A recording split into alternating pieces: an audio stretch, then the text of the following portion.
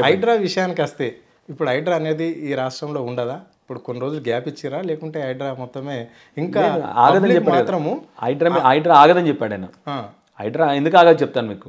హైడ్రా పేరు చెప్పి ఏం చేసుకోవచ్చు మనం? ఇప్పుడు నువ్వే బిల్డర్ అనుకోండి మీరే బిల్డర్ అనుకోండి. హైడ్రా పేరు చెప్పి మిమ్మల్ని బెదిరిస్తాను నేను రేపు పొద్దున మీరేం చేస్తారు?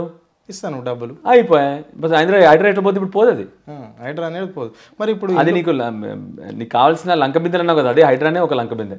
సెక్రటరియట్లు ఉన్నాయని చెప్పే. ఇవి కూడా హైడ్రా అందుకని అక్కడ దొరకలేదు కాబట్టి ఇప్పుడు హైడ్రా పేరు పెట్టుకున్నాడు మంచిగా. హైడ్రానే ఒక లంక బిందె. ఇప్పుడు మనం చూసారు కదా మొన్న మొన్న మా ఉప ముఖ్యమంత్రి గారే వాళ్ళ ప్రజెంటేషన్ హైడ్రా ప్రజెంటేషన్ పెట్టారు ఆయన. ఈ పలానా బిల్డింగ్లు ఉన్నాయి వాటర్లో అని చెప్పేసి. మరి ఎందుకు కూల్చట్లేదు పెద్ద పెద్ద బిల్డింగ్ని? పెద్ద పెద్ద బిల్డింగ్ చూపెట్టారు ఆయన. ఉప ముఖ్యమంత్రి గారు చూపెట్టారు. మరి ఎందుకు కూల్చట్లేదు మరి? హైడ్రాలో ఉన్నప్పుడు వాటర్లో ఉన్నప్పుడు మరి ఎందుకు కూల్చట్లేదు అది? అంటే ఏం జరిగింది? అంటే మీరు చెప్పిందే జరిగిందంటారా? అంతే కదా ఇప్పుడు నువ్వు ఆల్రెడీ ఓపెన్గా చెప్పావు "ఇగో ఇది ఉంది హైడ్రాలో వాటర్లో ఉంది అన్నావు. మరి ఇంకా కూల్చట్లేదు అంటే ఏంటి దానికి? మరి ఈ విషయం పేదవాళ్ళకి కూడా చెప్పచ్చు కదా. ఎంతనో ఎంతనో వంద గజాలు యాభై గజాలు నలభై గజాలలో ఇండ్లు కట్టుకున్న వాళ్ళకి కూడా చెప్పచ్చు కదా. మరి వాళ్ళకి కూలగొట్టవలసిన అవసరం ఏముంది? అదే అంటున్నా కదా పేదవాడైతే డబ్బులు ఇడు కదా నీకు పేదవాడు నీకు డబ్బులు ఇడు కదా? దోషినంత ఇస్తారు కదా. పేదోడు డబ్బులు ఇడు. ధనవంతుడు అయితే డబ్బులు ఇచ్చేస్తాడు. పేదోడు డబ్బులు ఇడు కాబట్టి డైరెక్ట్ పోయి అన్ని వాడికి చెప్పకుండా నోటీస్ లేకుండా ఇప్పుడు మిగతా వాళ్ళందరూ పెద్దోళ్ళకేమో నోటీసులు అంటారు. చిన్నోడికేమో నోటీస్ లేదు పాపం. కనీసం సమాచారం లేదు. బుక్స్ కూడా తీసుకొనిరు మొన్న ఒక చిన్న పాప ఏడుస్తా ఉంటే మీరు చూశారు. ఒక ప్రెగ్నెంట్ మహిళ ఏడుస్తా ఉంది. నా ఇల్లు కూల్చేయడానికి వస్తా ఉన్నారు. నేను ఎక్కడ పోవాలి ఇప్పుడు ఈ ప్రెగ్నెన్సీలో అని చెప్పేసి. ఎస్ అట్లాంటి ప్రభుత్వం ఇది. అంటే బాధాకరం ఇది. మీరు చెప్పింది వాస్తవమే. కాలేజీలు ఎన్నో విద్యా సంస్థలు కూడా ఇట్లా ఆ బఫర్ జోన్లో చెరువు భూములలో ఉన్నాయి. అది వాస్తవమే. అక్కడనేమో విద్యార్థులు చదువుకుంటున్నారు అని చెప్తున్నాడు. మరి ఇక్కడ మీరు అన్నట్ల పేదిండ్లల్లో పేదిండ్లలో చదువుకుంటూ లేరా? అక్కడ మీరు మీరు చూసుంటారు కూడా కదా. పిల్లలు ఎంతమంది పిల్లలు ఏడుస్తూ ఉన్నారు. కనీసం మా బ్యాగ్ తీసుకుంటామన్నా కూడా తీసుకోనీయకుండా కూల్చేశారు. అసలు ఇంతకంటే దారిద్ర్యం ఉంటుందా ఇంకా? ఇంత భయంకరంగా అనాలోచితంగా ఇంత కనీసం పాపం చిన్నపిల్లల పట్ల కూడా వాళ్ళ పట్ల కూడా ఇంత కూడా ఆలోచన లేకపోతే ఇంకా ఎక్- ఎక్కడ పోతా ఉన్నది? మీరు అన్నట్టు ఇప్పుడు విద్యా సంస్థలు పెద్ద పెద్ద కూల్స్తా అని చెప్పేసి ఆవిడికి ఒక సంవత్సరం కాలం ఇస్తామని చెప్తారు. పెద్ద పెద్ద బిల్డింగ్లకేమో డబ్బులు డబ్బులు రాగానే అవి అవి అవి కూడా మానిపోయినాయి. బీదలో మాత్రం ఏమీ లేకుండా టపటప కూల్చేసి సో ప్రజలు కూడా గ్రహించాలి యాక్చువల్లీ. ప్రజలు కూడా ఏమైందంటే మొదట్లో ఒక రోజు ఒక పెద్దోడిది కూల్చగానే "ఆ, పర్లేదులే అనుకున్నారు. కానీ ఈ రాయి రెండు వైపులు పడతా ఉంది. ఈయన అందరినీ కొడతా ఉన్నాడు. ఎవరిని కొడతా ఉన్నాడు అర్థం కాదు. వాటి చూపెట్టి మిగతా బీదులందరినీ కొట్టేశాడు. ఉమ్. అట్లా చూడచ్చు అంటారు దీన్ని. హండ్రెడ్ పర్సెంట్ కదా? ఇప్పుడు ఉదాహరణకి పోలీసు వాళ్ళు పాపం ముందల ఫస్ట్లో పోలీసు వాళ్ళు కొద్దిగా అత్యుత్సాహంతో ఈయన రెచ్చగొట్టేసరికి ఇష్టం వచ్చినట్టు బాగా గొడవ చేశారు. ఇప్పుడు పోలీసు వాళ్ళు పోలీసు వాళ్ళు కూడా కొట్టుకుంటున్నారు ఇప్పుడు. అంతే కదా. రాష్ట్రంలో జరుగుతున్నది అది. అది. సో ఈ చే ఈ చేతిలో ఉన్న రాయి ఎడబడదో ఎవరికి తెలీదు. ఉమ్. ఒకరోజు ధనవంతుడు పడుద్ది ఓ రోజు బీదోడు పడుద్ది. అంటే ఇప్పుడు మీరు చెప్తున్నారు హైడ్రా అనేది ఇట్లా పడ్డది వీళ్ళ మీద కొంతమంది మీద ఎఫెక్ట్ పడ్డది అని చెప్తున్నారు ఓకే. అందులో పేదవాళ్ళు ఉన్నారు మీరు చెప్పినట్లే కూడా కొంచెం మంది పెద్దవాళ్ళకి కూడా కొన్ని వాళ్ళు అనుకూలంగా లేని వాళ్ళకి పోయి ఉండొచ్చు ఓకే. సో మరి ఇక్కడ మూసి పక్షాలన అంటున్నారు ఈ మూసి పక్షాలన ఎవరి కోసం ఎందుకోసం? వందలాది మంది ఉన్నారు కదా ఇక్కడ నుంచి చూస్తే అక్కడ వరకు. మరి వీళ్ళందరూ ఏంది పరిస్థితి ఏంటి? వీళ్ళకి డబుల్ బెడ్రూమ్ ఇల్లు ఇస్తా అంటున్నాడు ఎక్కడన్నా కట్టించినవి ఉన్నాయా? ఈయన కట్టబోతున్నాడా? సో మూసీ ప్రక్షాళన అనేది అందరూ ఎస్ అని ఎస్ ఎస్ అని ఒప్పుకుంటారు. మన బీఆర్ఎస్ ప్రభుత్వం కూడా అప్పుడే ముసి ప్రక్షాళన స్టార్ట్ చేసినది. మనమే ఎస్టీపీస్ పెట్టినాము సీవరేజ్ ట్రీట్మెంట్ ప్లాన్స్ మనమే పెట్టినాము. నిజం చెప్పాలంటే మనం పెట్టిన సీవరేజ్ ట్రీట్మెంట్స్ ప్లా ప్లాన్స్ ప్రకారం ప్రతి ఒక్క వస్తున్న నీరు సివరేజ్ వాటర్ అంతా కూడా మొత్తం కూడా శుద్ధి అయిపోద్ది. ఎక్కడ? మన హైదరాబాద్ సిటీలో ఏదైతే మూసీలోకి వస్తూ ఉందో నీరు ఆ నీరు అంతా కూడా శుద్ధి చేయడానికి మనం అన్ని రెడీ చేస్తాం ఆల్రెడీ ఎవరు? బీఆర్ఎస్ ప్రభుత్వం ఉన్నప్పుడే అన్నీ కూడా రెడీ చేసింది అన్నీ కూడా ఎస్టీపీస్ పెట్టేసింది పెట్టేసినది. ఆ తర్వాత దాని సుందరీకరణ దాన్ని క్లీన్గా చేసిన తర్వాత దాని సుందరీకరణ అన్నాం ఫైన్ అది కూడా బాగానే ఉంది.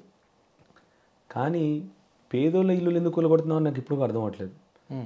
బిల్డింగ్ల మ్యాపులు చూపెడతావు షాపింగ్ కాంప్లెక్స్లు అంటావు ఆడిటోరియంలు అంటావు. బఫర్ జోన్లో ఉన్న ఈ ఇల్లులు కూల్చేయాలంటావు. మరి ఇదే బఫర్ జోన్లో మళ్ళీ కాంప్లెక్స్లు కడతా అంటావు. అది ఎవరి కోసం లాభం అసలు?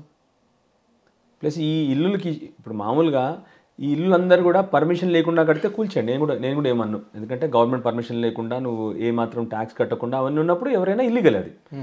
ఈ ఇల్లులన్నీ గవర్నమెంట్ పర్మిషన్ తీసుకొని రోడ్లు ఉన్నాయి లైట్లు లైట్లు ఉన్నాయి ట్యాక్సులు తీసుకున్న వాళ్ళ దగ్గర.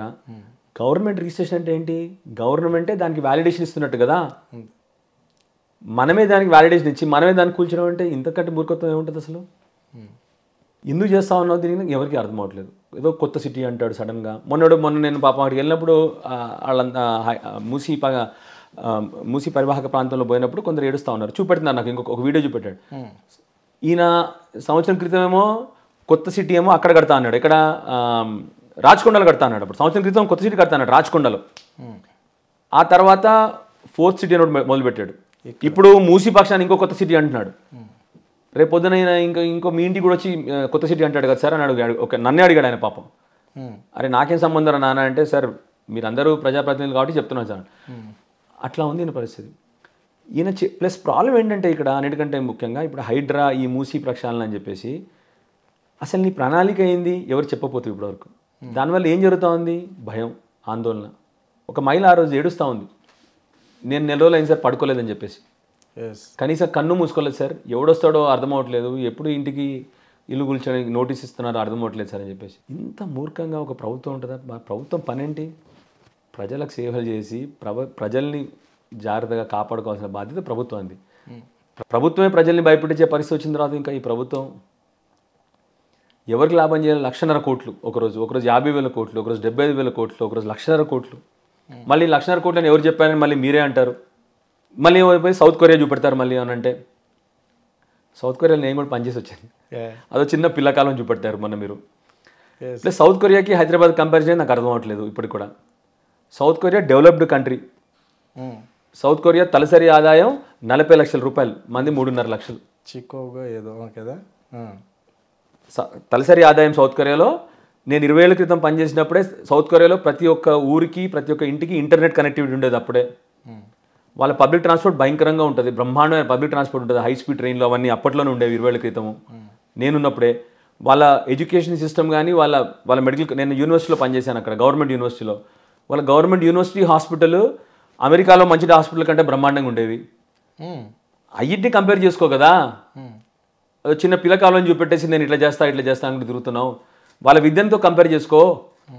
వాళ్ళ ఆరోగ్యంతో కంపేర్ చేసుకో. అది కదా కంపేర్ చేసుకోవాల్సింది. మీకు అర్థమైంది చెప్పింది మీకు? ఏదో పిల్లకాలు చూసి ఇంకా పంపిస్తా సౌత్ కొరియాకి అంటాడు కొత్తగా ఇప్పుడు. మళ్ళా టీం. మళ్ళీ టీం పంపిస్తాడంట. పంపించు టీంని. వాళ్ళ హాస్పిటల్స్ చూడమని చెప్పు వాళ్ళ గవర్నమెంట్ హాస్పిటల్ సెటప్ చూడమని చెప్పు. వాళ్ళ ఎడ్యుకేషన్ సెటప్ చూడమని చెప్పు. వాళ్ళ ఐటీ టెక్నాలజీ సెటప్ చూడమని చెప్పు.